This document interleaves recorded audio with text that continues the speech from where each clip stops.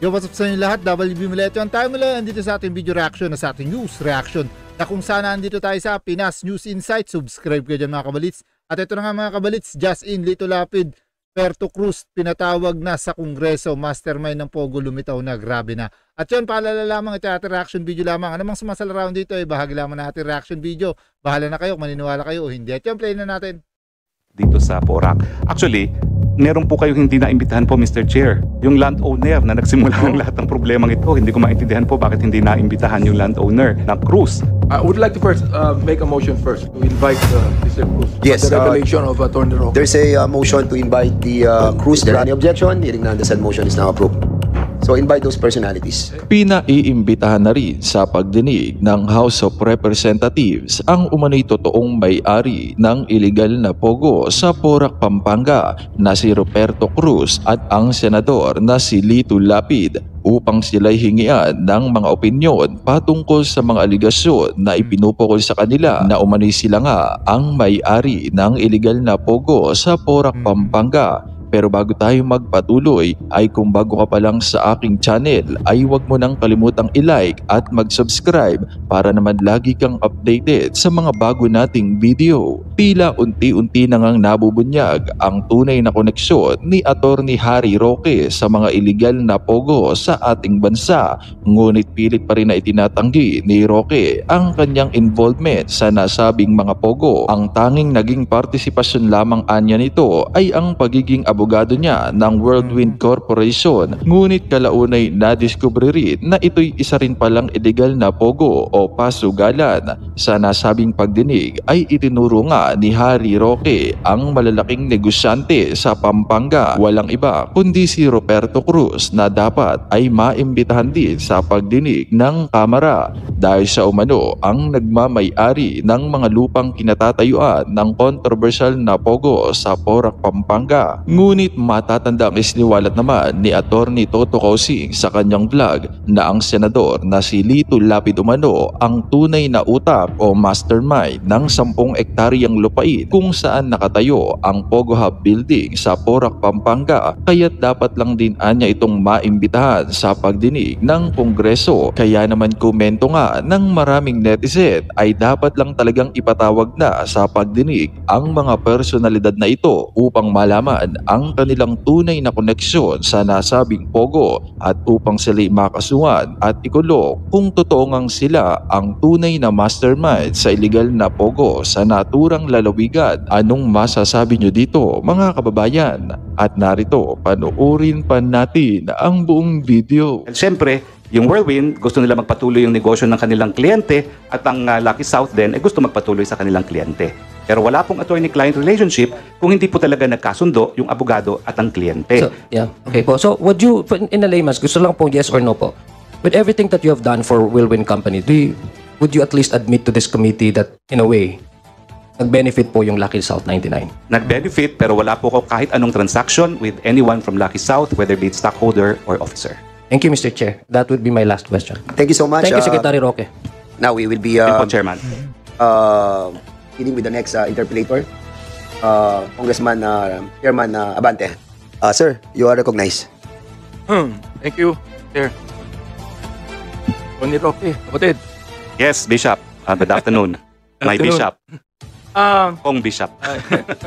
to admit kanina when the uh, Congressman Pimentel was asking you na sinamahan nyo ang isang Pogo executive kay Pagcor Chairman Altenco. Am I right? Hindi po, kasi ang pagkakakilala ko, hindi po Pogo Executive si Okay. Cassie Ong. Siya po ay taga Whirlwind. Siya Alright. po ay um, nagpapaupa at service provider nga po sa isang Pogo licensee. So, hindi, hindi nyo pa alam. Hindi nyo pa alam at that time. Ah, alam ko po. Kasi matagal ko nang kakilala, isang taon ko na rin kakilala po ang Whirlwind. Dahil kinukonvince ko nga po sila na mag-invest sa isang ah, renewable energy project. So, uh, hi- hi- hindi nyo sinamahan ah Sino yun? Si, ano, ano pangalan nun? Cassie. Cassandra Ong. Hindi nyo sinamahan because of Pogo. Well, ang problema po nila ay yung kanilang kliyente na umuupa ng kanilang premises eh nagkaroon ng problema. Eh mga Chino po yan, hindi naman nag english at ang problema nila dun sa representante nila sa PAGCOR mismo. So, bakit nyo kinakailangang puntahan ah, ng personal si Altenco tungkol dito? Kasi kinakailangan po ng board approval. And the chairman, of course, is the chairman of the board of PAGCOR. Hindi po ito ma-approve sa level labang ni Attorney Fernandez. Kinakailangan magkaroon po ng board resolution adopted by the PAGCOR board to authorize a rescheduling of payment. Hmm. So, naniniwala rin po kayo doon sa tinatawag nating ah, political influence. Well, ah, yan po ay katotohanan, pero ang katotohanan din po, sinabi naman po ni Chairman Altenco, hindi po kami magkakilala, bagamat meron din po mga roques sa Malolos where he was once a mayor. Okay. Mr. Chair. Ah, kapatid, you are a you are you you admitted na abogado kayo ng ah, Whirlwind Company po ba 'yun? Opo, Mr. Chair, at uh, nagsumiti na po ako ng mga dokumento na may tatlong kaso akong hinawakan, pero lahat po yan related doon sa property sa um, Porac. Kayo po ba ay naka-retainer o meron kayong specific contract? Specific contract lang po, case related po yan, dahil kapag retainer po, eh, normally kasama po dyan yung pagiging corporate secretary. Hindi po ako nagtatanggap sa corporate secretary work na unang-una dahil ah, medyo semi-retired na po ako, hindi naman ako talaga tumatanggap ng maraming kaso. At yung sa kwento lang ni Cassie, talagang alam ko po marami nagsamantala sa kanila. From yung kaso nila sa ejectment, yung nagpaupa sa kanila, na napakamahal ang paupa, lahat po talaga parang napagsamantalahan sila pagdating na pati dito sa sarili nilang representante sa Ah, sabi nyo, marami nagsamantala po sa kanila. That what you're saying? Yes po, kaya nga po medyo naawa ako nung nalaman ko yung mga kwento nila no dahil from the um, amount of valuation dun sa property na liblib na liblib eh tako, binalyo po nila ng 20,000 per square meter no. Tapos yung mga pangyayari po na umusbong kung pa- bakit kinailangan pumasok sa kaso, nagsimula po talaga upa lang 'yan. Tapos inilit silang bilin. Nangako naman yung ama na sige, bilhin nyo na ako magbabayad sa first year ng ah, ah, installment basis.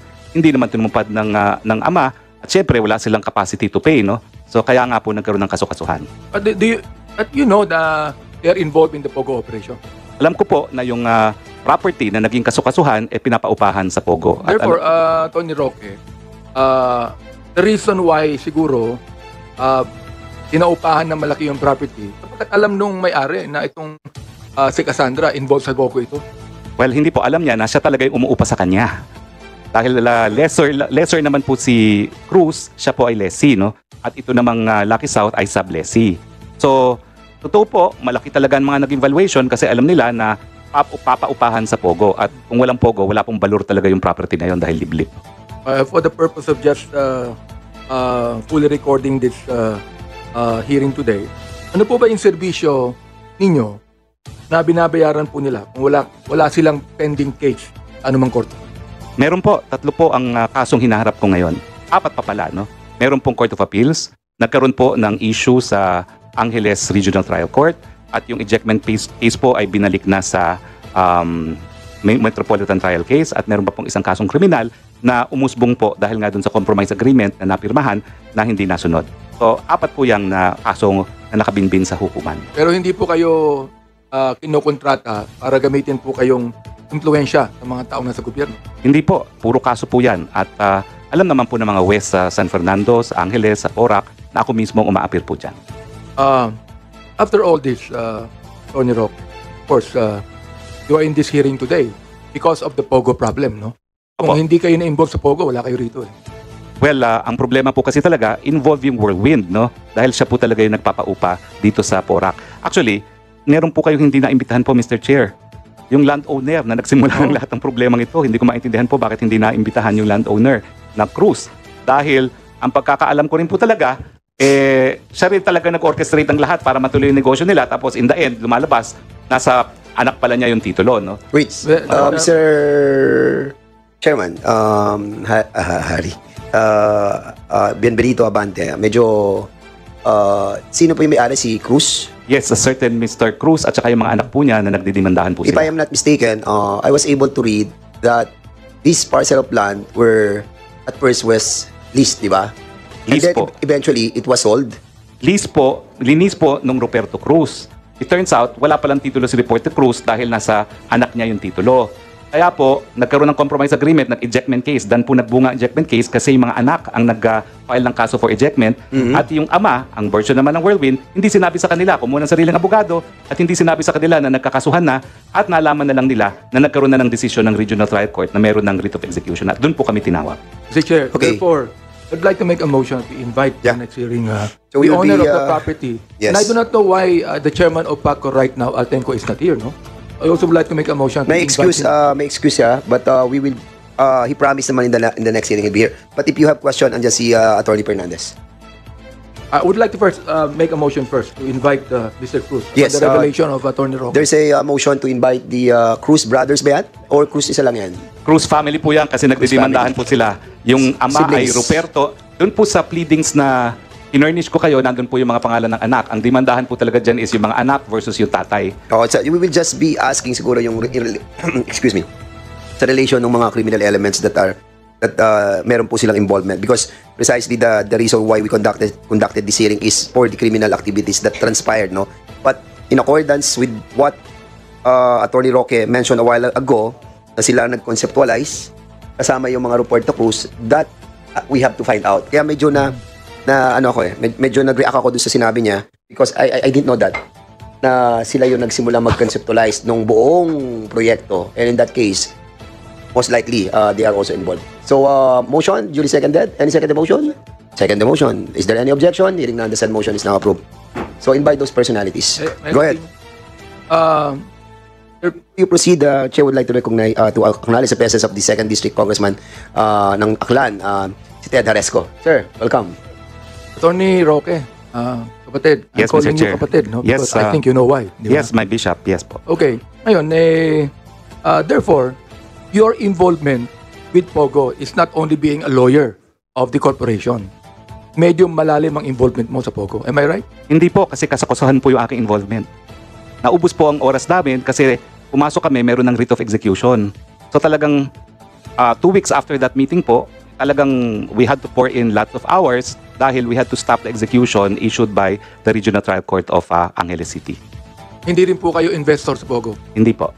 Alright. Now, after all this, lahat ng mga bagay na ito, will you still allow yourself to be used Well, by the Whirlwind Corporation after after knowing this, after na iniimbestigahan po ng Senado ito, ng Kongreso ito, will you still allow yourself to be the lawyer or be used by this corporation? Mr. Chair, ang hinahawakan ko po mga kaso naman. Uh, you can always say, because you are involved in Pogo, I'm withdrawing my being a lawyer to you. Well, ang, Di, ba? Di ba? Do you have the right to do that? I'm not a lawyer, so I'd like to find out. sa mga papeles po, ang hinahawakan ko lang talaga yung issue po ng possession. So, wala pong kinalaman ng POGO doon sa mga kasuhan namin. It's an ordinary ejectment case.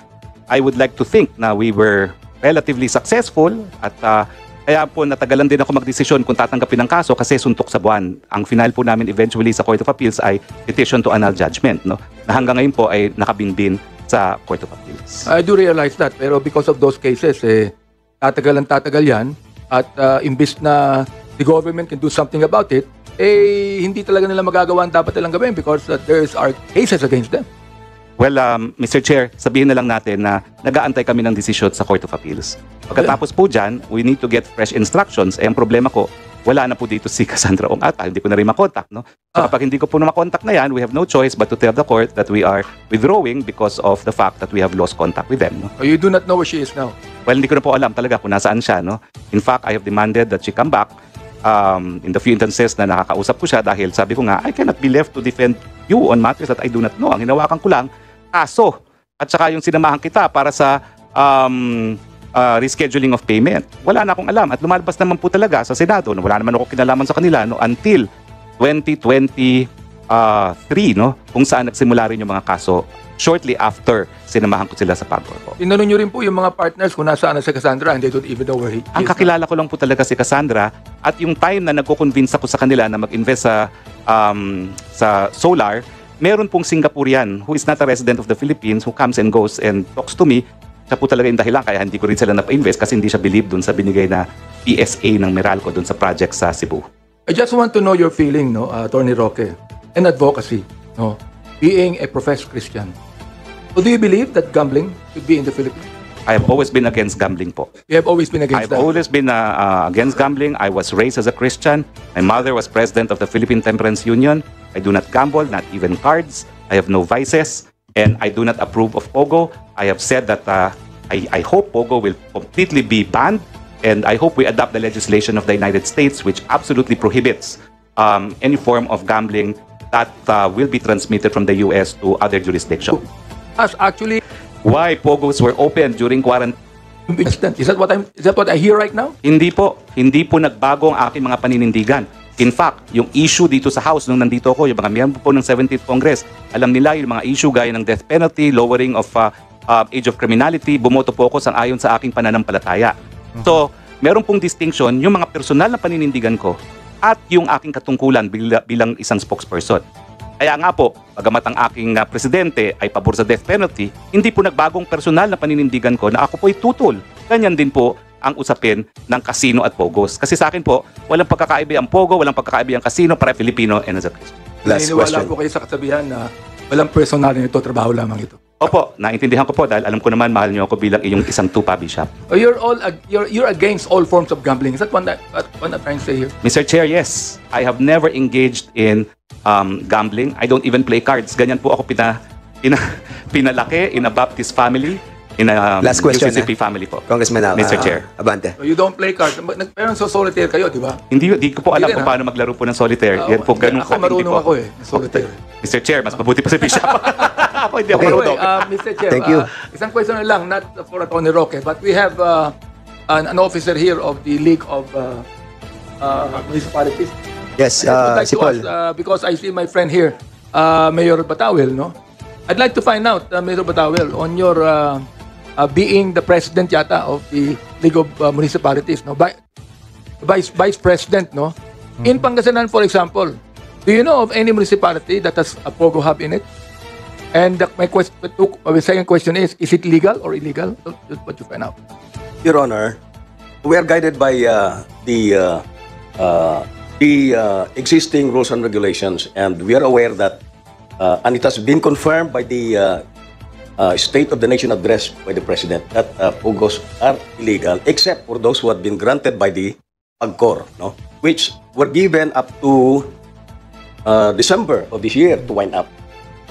And uh, on that note, uh, the uh, list of POGO involved uh, municipalities were given to us, and the list is with our Secretariat of LMP. Your Honor, sir. Yeah, uh, do you have uh, in the in the in Pangasinan alone? Do you have municipalities that are quite involved in uh, in uh, having a pogo hub or with it? Your Honor, uh, I have to refer to the list which had been given to us because that is based on uh, some uh, uh, facts and evidence. And uh, as personally, uh, my, my mine is will just be a conjecture. But uh, based on the list that had been submitted, uh, maybe I can base my uh, answer to your question, Your Honor. Is there any? Uh, I would think that there are uh, uh, pogo hubs in Pangasinan. Am I right? So if there are, I would like to ask if there is a relationship with Alice Goo dyan. yung Mga pogo hubs na yan. At yan nga mga kabalits natin yung mga ilang mga patungkol, mga pahayag at mga pagtugon dyan. No, na kung saan ito nga yung patungkol pa rin sa talagang uh, umano'y ah, paglantad dito nga no, sa mga kaugnayan dito sa Pogo na kung saan dito nga eh talagang iniimbestigahan na talagang isiwalat yung uh, mga pupwede at pupwede nga konekta umano dito nga no sa mga Pogo na to na kung saan ito nga si Atty. Harry Roque ang isa sa talagang nga nagsasalita rito kaugnay nga sa umano'y ah, mga paratang patungkol sa Pogo ay dinidikit nga no sa kanyang pangalan ngayon na kung saan dito eh nais nga nga na maisiwalat at talagang nga ma, na kung sana na, na kung sana maisiwalat at talagang nga maalam kung ano't ano pa mga mga pupwede nga naging ugnayan nito no ukol nga daw umano sa Pogo na to na kung saan dito eh patuloy naman sa talagang nga nagiging nga pagpapahayag ng nga kanya nga nagiging nga tila nga ba no ah, ng kanya nga pagbibigay sa laysay ukol nga sa umano yung mga paratang laban sa kanya. At kayo, kayo na lang bahalang magkomento sa ibaba na nais nyo i-komento patungkol dyan. At yun muli, syempre, nagpapasalamat tayo sa patuloy nyo pagsubaybay at patuloy nyo pagsuporta at pagsusubscribe sa ating channel. At syempre, nagpapasalamat tayo dito sa at syempre, nagpapasalamat tayo dito sa Pinas News Insight. Subscribe kayo dyan mga kabalits. At yan mga kabalits, ito muli ang yung WB. Hanggang sa muli natin pagkikita, mga kabalits.